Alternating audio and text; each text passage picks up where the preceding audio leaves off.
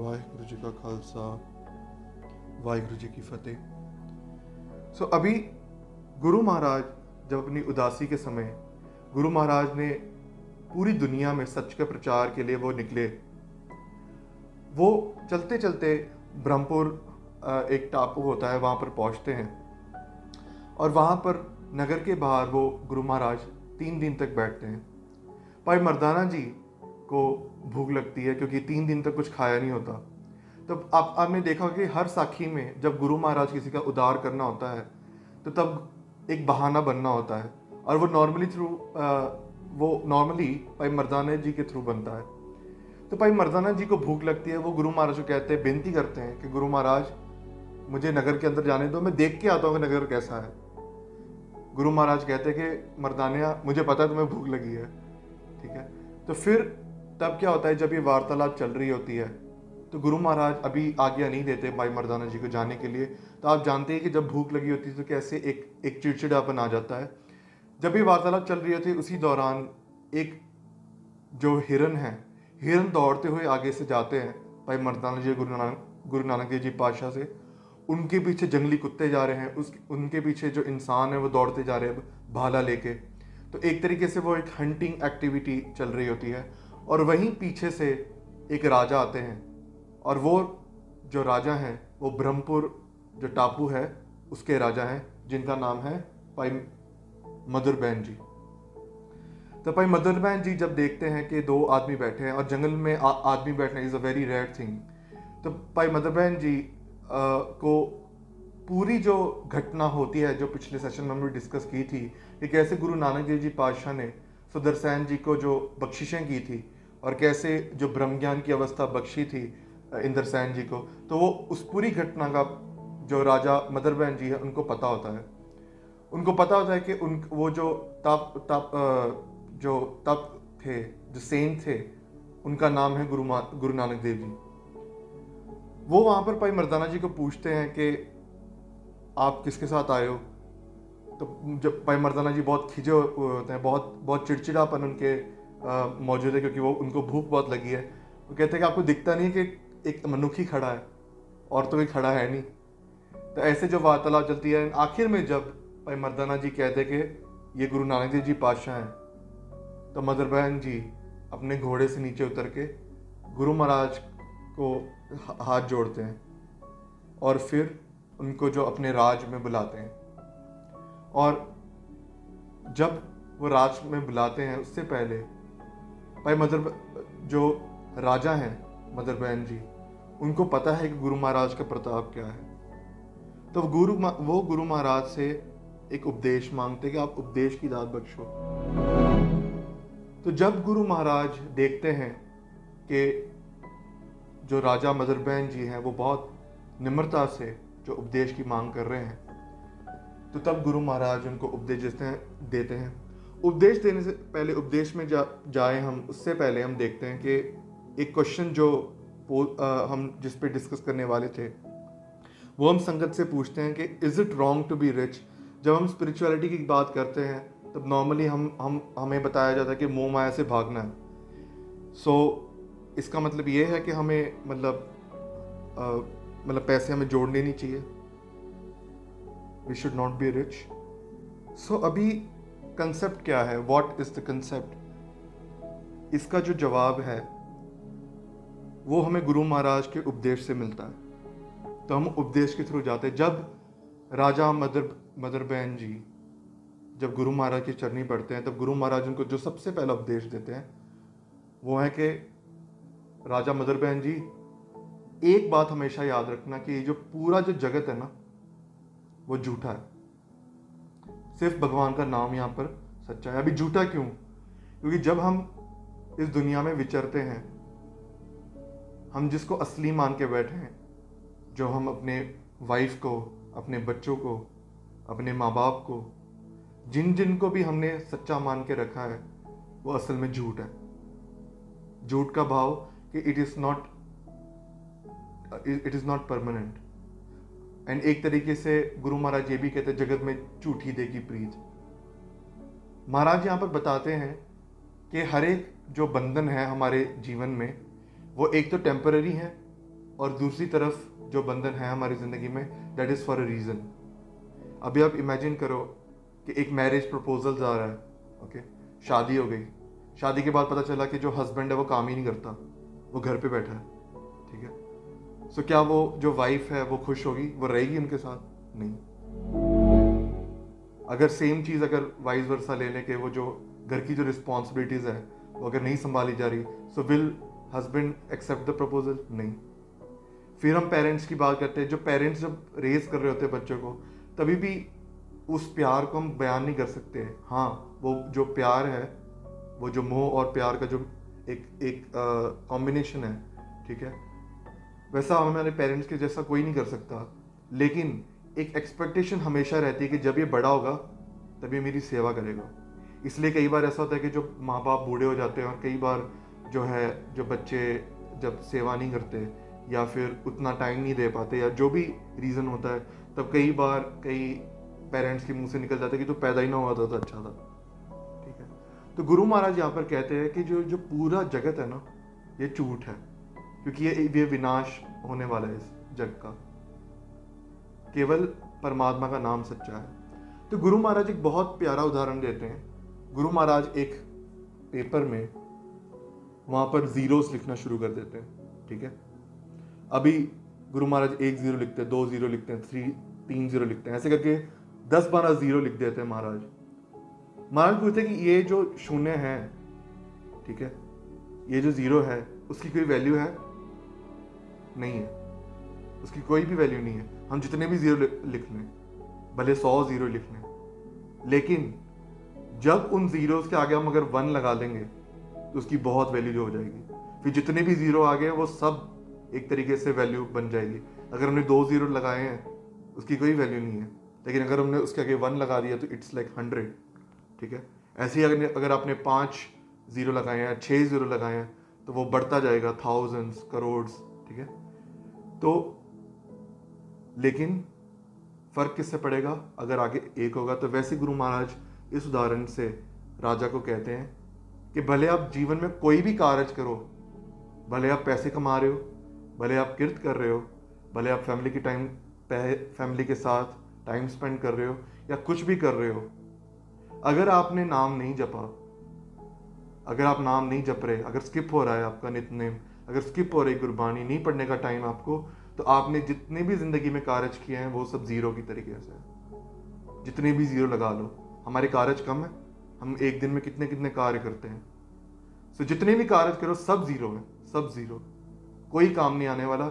जब ये शरीर छोड़ के आत्मा जाएगी, कुछ भी साथ में नहीं जाने वाला। लेकिन वहीं गुरु महाराज कहते हैं, अगर उस सब कार्यों के आगे एक परमात्मा का नाम आ जाएगा तो तब जो है सब कार्य प्रमाण फिर भले आप कमा रहे हो, आप रिच हो, लेकिन फिर भी आप नाम जप रहे हो तो वो भी प्रमाण है। तो गुरु महाराज गुरबानी में कई जगह फरमान करते हैं कि अगर बड़े बड़े घर हैं और वहाँ पर सात संगत की सेवा नहीं होती, वहाँ पर भगवान की उस्तत नहीं होती, वो उजाड़ ही है, उजाड़।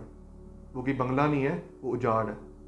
वहीं दूसरी तरफ़ महाराज कहते कि एक एक ड्राई जगह है जहाँ पर ड्रॉट आया मतलब पूरी पू, सब कुछ सूखा हुआ है वहाँ पर लेकिन वहाँ पर अगर कोई परमात्मा का नाम जप रहा है ना वो भी हरियाली हो जाती है। जैसे हमने पिछले सेशंस में देखा था कि जब महाराज वहाँ पर शिव राजा शिवनाथ के आइलैंड में आते हैं जैसे ही महाराज वहाँ पर पैर रखते हैं कई साल पुराना जो बगीचा होता है वो हरा भरा हो जाता है। जिथे जाए बह मेरा सतगुर सो स्थान सुहावा राम जी।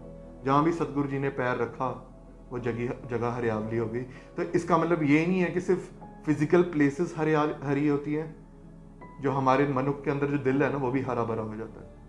क्योंकि हम जब भी इस पंक्ति को लेते हैं, अभी नॉर्म यूजुअली थिंग कि जहाँ पर गुरु महाराज ने फिजिकली वहाँ पर पैर रखे थे, लेकिन असल तौर में हम हमें ये भी देखना चाहिए कि गुरु महाराज हमारे अंदर पैर कब रखेंगे। तो गुरु महाराज यही उपदेश देते हैं कि वो एक ही परमात्मा जो है, जो एक परमात्मा का नाम है तो वही परमानेंट रहेगा। फिर सेकंड क्वेश्चन पे आते हैं कि क्या हमें सब कुछ छोड़ देना है? अगर परमात्मा का नाम सच्चा है। कई लोगों के दिमाग में जब हम फ्रेंड्स के साथ विचर रहे थे फैमिली के साथ विचर रहे होते हैं कई बार इवन इन सिख फैमिली जहाँ पर आ, केस बढ़ाने की परंपरा है ऑलरेडी वहाँ भी लोगों को बताया जाता है कि जैसे ही अगर केस कोई बढ़ाना शुरू कर देता है जब कोई बाल बढ़ाना शुरू कर देता है भगवान के राह पे चलना शुरू कर देता है थोड़ा और तब उसको टॉन्ट्स पढ़ने शुरू हो जाते हैं ताने पढ़ने शुरू हो जाते हैं। उसको कहा जाता है फ्रेंड्स कहने लग जाते हैं वो तो बाबा बन गया। तुम तो बाबा बन गए। अब पहाड़ों में जाके बस भक्ति होगी तुम्हारी। सो so, नॉर्मली एक स्पिरिचुअल आदमी को दुनिया में एक फुलिश आदमी की तरह देखा जाता है जो बहुत ही आलसी है ज़्यादा काम नहीं करता जिसको जिसको कोई सोच ही नहीं है दुनिया की जिसको कुछ पता ही नहीं कि दुनिया में चल के आ रहा है। लेकिन गुरु महाराज ने जब गुरु नानक देव जी पातशाह ने जब ये राज शुरू किया तो जब वो धरती पे आए गुरु महाराज गुरु महाराज ने प्रकाश किया लिया इस धरती में रूप लिया निराकार आकार ज्योत। तो तब गुरु महाराज ने जो सबसे पहले उपदेश दिया था तीन महाराज ने मेन उपदेश दिए थे कृत करना नाम जपना और वन के शकना उसमें से सबसे पहला गुरु महाराज ने रखा है कृत करनी। कृत करनी मीन्स जो भी आप कार्य करें अर्न ऑनेस्टली और वो धर्म के आधार पे होना चाहिए। ठीक है? सो so, वो एक एक एक itself it's a very deep topic कि असली में कृत करना क्या है। लेकिन गुरु महाराज ने कहा है कि सन्यास सन्यासी नहीं बनना। क्योंकि हमने फ़र्स्ट सेशन में देखा था कि जब गुरु महाराज के आने से पहले जो स्पिरिचुअल लोग थे, वो घर छोड़ के चले गए थे माउंटेन्स में रहने, ठीक है? उसकी वजह से जो जग, जिस, जिनको गाइड करना था, वो पहाड़ों में चले गए, जंगलों में चले गए, और ये जो धरती है वो पूरी करप्शन से भर गई। और लोगों ने एक पुकार लगे भगवान को कि कोई सच्चे मार्ग कोई दिखाए तो तब जो निरंकार जो है, वो परमात्मा जो है, उन्होंने खुद गुरु नानक देव जी के रूप में जो रूप धारण किया। सो गुरु महाराज ने कहा है, गुरु महाराज का उपदेश ये है, गुरु महाराज ने कहा है कि माया से अलग रहना है, निर्लेप रहना है, माया के अंदर रह के ही।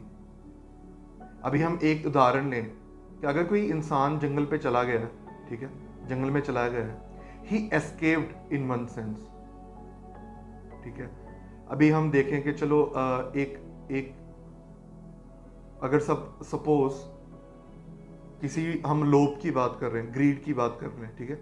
हमारे सामने पैसे पड़े या मेरे अंदर ग्रीड है, मैं उसको उठा लूँगा, ठीक है? अगर मैंने मैंने अपनी अंदर की ग्रीड को त्यागने के लिए मैं जंगल में चला गया तो क्या मेरी अंदर की ग्रीड गई? नहीं, वो वहीं की वहीं है। आप जंगलों में सालों साल बिताते हैं, सालों साल बिताते हैं, तपस्या भी करते हैं, ठीक है? लेकिन जो अंदर की ग्रीड है, वो तो वहीं की वहीं है। लेकिन आपको ये लग रहा है कि मेरी ग्रीड चली गई क्योंकि मैं जंगलों में रह रहा हूँ, पैसा दिख नहीं रहा ना अभी। लेकिन जैसे ही वो पैसा आएगा, सामने अगर आया, कोई जंगलों में आ गया और उसके पैसे गिर गए तो अंदर का लोभ लोभ तभी उठ जाएगा। एक मिनट नहीं लगाएगा वो वो उठ के भौंकने लग जाएगा, अंदर से। वो अंदर से आवाज़ लगाना शुरू कर देगा। ठीक है? लेकिन तो वही बात है कि गुरु महाराज कहते हैं कि अगर तुम मौन रख रहे हो इसका मतलब ये नहीं कि आपका मन भी शांत बैठ गया चुप है चुप ना हो जय लाए रहा लिफ्तार। तो गुरु महाराज यहाँ पर कहते हैं कि माया में रह के माया से निर्लेप रहना है। तो इसकी कला कैसे आती है? एक उसका एक रिव्यूअर का एग्ज़ाम्पल आता है कि सपोज़ दो पर्स दो इंसान हैं दोनों को बहुत प्यास लगी है ठीक है? सो so, एक इंसान जाता है नदी के पास वो पानी पीता है और वापस आ जाता है। फेयर इनफ दूसरा जो इंसान है, वो क्या करता है? वो जाता है, अभी प्यास लगी है तो पानी भी बहुत अच्छा लगता है, ठीक है? वो इतना खुश हो जाता है, इतना एक्साइटेड हो जाता है कि वो जाते हुए जो नदी जो बहुत फोर्स से बह रही होती है, वो सीधा छलांग मार देता है रिवर में, ठीक है?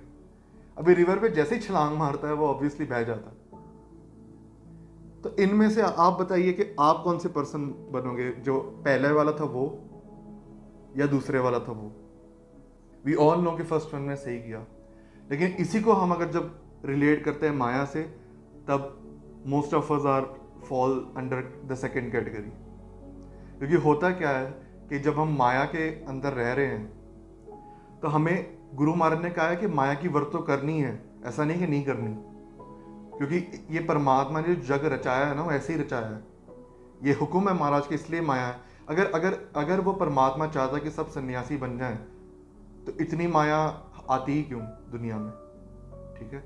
सो so, माया में रह के भी माया से निर्लेप लेने का भाव है कि अगर आप वो माया का इस्तेमाल कर रहे हो तो उतना ही करना है जितनी आपको ज़रूरत है।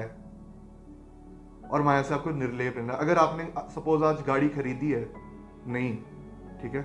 If you have bought a new car so वो ऐसा नहीं कि प्रमाण नहीं है ठीक है? अगर आपकी हैसियत है ज़रूर लो। आपकी ज़रूरत है ज़रूर लो। लेकिन अगर आप परमात्मा को विसर गए हो, अगर आप परमात्मा को भूल गए, ठीक है, फिर वो गलत हो जाता है। या फिर माया से निर्लेप रहने का भाव ये कि अगर वो गाड़ी आई और कल को चोरी हो गई या कुछ भी हो गया तो आपको एक एक परसेंट भी दुख ना लगे अंदर। कितने कितने जन हमारे से ऐसे जो, जिनकी ये अवस्था है, कोई भी नहीं होगा। सबको अटैचमेंट है। अटैचमेंट की भी अगर हम बात करें अगर गुरु महाराज ने हमें पेरेंट्स बख्शे हैं, गुरु महाराज ने हमें अगर मित्र बख्शे हैं, गुरु महाराज ने हमें अगर बीवी बच्चे बख्शे हैं, ठीक है? कितने लोग ऐसे कि कल को वो चले जाएँ और आपको दुखी ना हो? अभी पता चला कितने लोग सेकंड कैटेगरी में आ गए। सो इससे निकले कैसे? अभी ये सवाल आता है। तो गुरु महाराज यहाँ पर बहुत बार गुरबानी में जवाब देते हैं कि ये जो माया है ना इट्स वेरी स्ट्रॉन्ग ये इतनी आसानी से निकला नहीं जा सकता है कि हम एक एक एक हट कर लें कि हाँ मैं आज से ना ग्रीड नहीं करूँगा, मैं पैसे के बारे में सोचूँगा ही नहीं। एक दो दिन वो बात चल जाएगी, लेकिन तीसरे दिन वापस आप, वापस वहीं के वहीं हो जाओगे। तो गुरु महाराज ने इसलिए ही हर एक को नाम जपने का उपदेश दिया है। अभी जितना ज़्यादा आप अभ्यास करोगे, उतनी ज़्यादा जो है, जो नाम बाणी है, वो आपके अंदर वर्क करेगी। धीरे धीरे आपकी महल चेंज करेगी। अभी हमने पिछले सेशंस में देखा था कौड़े राक्षस की बात की थी। वो राक्षस को गुरु महाराज ने गुरुमुख बना दिया। राक्षस बीरती मतलब जानते हैं आप? इंसानों को खाना एकदम जो हम नेगेटिव बिरती जिसकी हम बात करें नेगेटिव इंटेलेक्ट की बात करें, उसको राक्षस बोला जाता है। गुरु महाराज ने उनको भी गुरुमुख बना दिया। तभी गुरु महाराज, गुरु नानक देव जी किस रूप में है? शब्द रूप में। तो जब हम बाणी पढ़ते हैं, जब अभ्यास करेंगे ज़्यादा, संगत जी please don't only stick to Nitnem कई लोग ऐसे होते हैं कि नितनेम सुबह कर लिया एंड देन उनको लगता है हाँ मेरा काम हो गया नाउ आई एम फ्री नहीं। लेकिन पूरे दिन जब भी आप चल रहे हो, बैठ रहे हो, खा रहे हो, वाहिगुरु वाहिगुरु, जपते जाना है वो काम खत्म नहीं हुआ है आपका। Don't take don't take it as a task ठीक है? तो जैसे जैसे नाम अभ्यास बढ़ता जाएगा तो वो जो नाम की जो पावर है that will help you to overcome this attachment of माया धीरे धीरे करके आप अंदर से ही आप वो बाहर निकलते जाओगे। आपको कोई फ़िज़िकल वो नहीं करना कि हाँ मैं नाम के साथ ऐसे करूँ, ऐसे मतलब नाम का इस्तेमाल करूँ। नहीं। आप नाम बस जपो, नाम अपने आप अंदर काम करेगा। जैसे आप खाना खाते हो ना, खाना खाते हो डाइजेशन अपने आप हो जाता है। आप देखते हो कि हाँ यार, ये ये गले में अटक गया, अभी पेट में नहीं जा रहा, पेट से इंटेस्टाइन में नहीं जा रहा, ठीक है? वो नहीं देखते ना हमने हमने बस मुँह से हमने खाना खाया आगे वो प्रोसेस अपने आप हो रहा है। वैसे ही आपको नाम जपना है और फ़िक्र नहीं करनी कि भाई आनंद आ रहा है, नहीं आ रहा, वो काम हो रहा ही है अंदर। अगर महल ज़्यादा है तो थोड़ा टाइम लगेगा वो आनंद आने में। अगर अगर कम है तो आपको गुरु महाराज एक पल में भी कृपा करते हैं, ठीक है? तो वो उसकी चिंता नहीं करनी कि मुझे फील नहीं हो रहा है या कुछ वो वो एक दिन का काम नहीं है। वो गुरु महाराज की कृपा और आपके कर्म पे डिपेंड करता है। सो आप नाम जपो। नाम जपने से क्या होगा? कि आप एक तरीके से जो भगवान की कृपा ले रहे हो, भगवान खुश होते हैं जब आप प्यार से नाम जपते हो, ठीक है? भावना रख के नाम जपना है और जैसे आप नाम जपोगे धीरे धीरे करके तो अंदर वो खेल चलती जाएगी अपने आप। आपको वो पावर मिलेगी जिससे जो आप, जो अटैचमेंट है, उसको कॉन्कर कर सकते हो। लेकिन ऐसे कई उदाहरण रहे हैं सिख इतिहास में जो फैमिली लाइफ में नहीं गए, जैसे भाई गुरदास जी। लेकिन वो बहुत ज़्यादा ही चुनिंदा सिख थे। जिन्होंने अपना पूरा जीवन जो है पंथ के लिए और जो जो पंथ के लिए पूरी से, पूरी ज़िंदगी सेवा में लगा ली। सो वो बहुत ही विरले हैं जो गुरु महाराज जो खुद जो जिनको चूज़ करते हैं लोगों का उद्धार करने के लिए। सो वो थोड़े एक्सेप्शंस रहते हैं, लेकिन जैसे हम हम हम सब जैसे जो जिन, जिनका स्पिरिचुअल लेवल है, गुरु महाराज ने हम सबको फैमिली लाइफ और जो किर्त करने का जो उपदेश दिया है, ग्रस्त जीवन जीने का उपदेश दिया है सबको, कि इस दुनिया में रह के आपको सच्चार कमाई करके एक एग्ज़ाम्पल बनना है, ताकि जब भी लोग देखें ना आपको, उनको लगे कि हमने हमने गुरु महाराज को नहीं देखा, लेकिन वो ऐसे ही दिखते होंगे। That should be our aim ठीक है? फिर आगे जो गुरु महाराज ने एक और उपदेश दिया द सेकेंड उपदेश वॉज़ इसका हमने थोड़ा पार्ट डिस्कस ऑलरेडी कर लिया है। द सेकेंड उपदेश वॉज़ कि गुरु महाराज ने कहा कि एक जो दूसरा उपदेश गुरु महाराज ने जो दिया वो था कि जो न, जो मन है ना मन ये कभी टिकने नहीं वाला। गुरु महाराज ने एक एग्ज़ाम्पल के थ्रू बताया कि जो मन है ना वो एक कैटल की तरीके से है। जो हम जो गाय भैंसे चराने जाते हैं ना वो उनके जैसे है। अगर आपने उनको खुला छोड़ दिया फिर तो वो जितने जितने आपको खेत दिख रहे सब उजाड़ देगा। ठीक है? वो हाथ में नहीं आते आसानी से। तो किसान क्या करते हैं?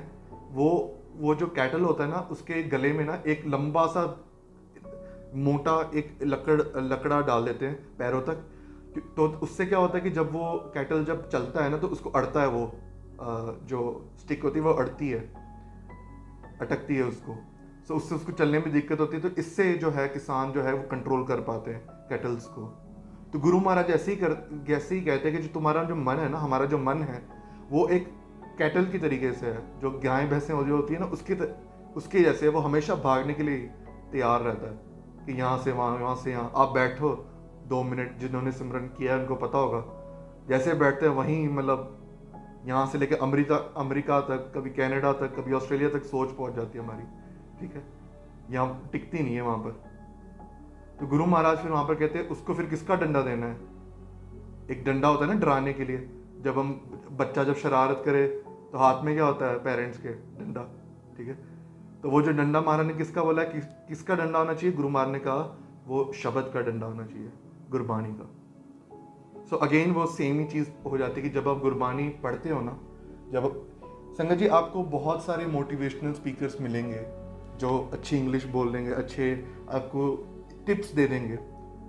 हम भी यहाँ पर जो आपको टिप्स देते हैं वो आपको उस मुकाम तक पहुँचाने के लिए एक एक एक सपोर्ट है, लेकिन वो अल्टीमेट एम नहीं है। अल्टीमेट एम क्या है कि आप नाम जप के उस एक परमात्मा के साथ लीन होना। That is the main aim अगर नाम तक पहुँचा कैसे जाए, उसके टिप्स हम बताते हैं लेकिन अगर आप उसी में उलझ के रह गए तो उसका कोई फ़ायदा नहीं होगा। आप मोटिवेशन स्पीकर्स को बोलना there will be many examples for example अगर क्रोध की बात करें तो क्रोध के लिए आपको बोला जाएगा कि यू नो आप टेक डीप ब्रेथ्स ठीक है? हाँ तीन साँसें लंबी लो। सो so, ऐसे ऐसे बहुत सारे जो जो टिप्स दिए जाते हैं वो एक बार काम आएगा दूसरी बार काम आएगा तीसरी बार वो जब फूटा ना गुस्सा फिर वो नहीं देखता कि क्या आया क्या नहीं। वो सीधा लग जाता क्यों? क्योंकि अंदर से वो रूट से हटा नहीं है वो क्रोध। रूट से नहीं हटा। वो आपने एक पल के लिए, दो पल के लिए टाल लिया, लेकिन वो है तो अंदर ही। और जो भी फीलिंग आपके अंदर होगी, वो बाहर आएगी ही आएगी, कभी ना कभी। तो रूट से कैसे खत्म होगा? गुरु महाराज फिर कहते हैं कि जो नाम है, कोर दुखियन अनिक हत्यन जन्म दारिद्रन महाभिख्यादन मिटन सगल सिमरन हर नाम, नानक जैसे पावक का भस्म करोत। गुरु महाराज कहते हैं कि जन्मों जन्मों की मैल है, जितनी भी हत्याएँ आपने की है पिछले जन्मों में, जितने भी आपने पाप कमाए हैं सबके सब मिट जाएँगे अगर आप नाम जपोगे। तो आपका काम है नाम जपना, उद्यम करना, गुरु महाराज के उपदेश, आदेश मानना और फिर अंदर खेल अपने आप ही चलता रहेगा। फिर गुरु महाराज पे छोड़ दो। फिर जैसे पिछली बारी हुआ था ना कि गुरु महाराज ने कहा कि अगर अगर मुझे मन दिया है तो फिर सोच क्यों रहे हो? ठीक है? अगर आपने एक बार कार्य कर लिया, फिर देख लो हाँ चलो, गुरु महाराज खुद ही करेंगे। गुरु महाराज से आई हूँ। फिर देखना how how life goes smoothly ठीक है? सो so, ये इतना आसान नहीं है लेकिन जो डंडा क्या होगा जो डिसिप्लिन का डंडा क्या होगा वो होगा नाम। आगे गुरु महाराज फिर जाते हैं सॉरी फिर जो है उपदेश सुन के जो है खाना बनाया जाता है गुरु महाराज के लिए। जो मधुर बहन जी हैं वो उनको राजमहल में बुलाते हैं गुरु महाराज जाते हैं और गुरु महाराज खुद वहाँ पर जो है पर पाई मर्दाना जी और गुरु नानक देव जी पाशाह कीर्तन करते हैं। और फिर जो संगत है, जो पूरी वहाँ की जो जितनी भी प्रजा है, वो भगवान का नाम सिमर के वो निहाल हो जाती है। और आखिर में जो गुरु महाराज मधुबैन जी को ब्रह्म ज्ञान की दात बख्श देते हैं। और फिर वचन करते हैं कि तुम जो है सुदर्शन जी के अंडर आ जाओ।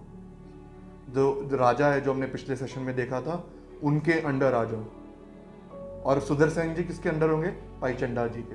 भाई चंदा जी वो गुरुमुख थे जिनको गुरु महाराज ने ब्रह्म ज्ञान की दात बख्शी और जिसको एक तरीके से राजगुरु बना दिया था। तो राजगुरु एक तरीके से ऐसा होता है कि जो राजा होता है, वो भी एक तरीके से सलाह माँगता है। सो सुदर्शन जी जो राजा थे, राजगुरु किसको बनाया? भाई चंडा जी। वहाँ पर मंजी इस्टेब्लिश की, जो धर्मसाल था, वो इस्टेब्लिश किया और फिर भाई मधुर बहन जी को कह दिया कि आप उनके भी अंडर आ जाओ। सो इतनी बिनतियाँ प्रमाण करनी पुला चुका लिखे माँ जी वाहिगुरु जी का खालसा वाहिगुरु जी की फतेह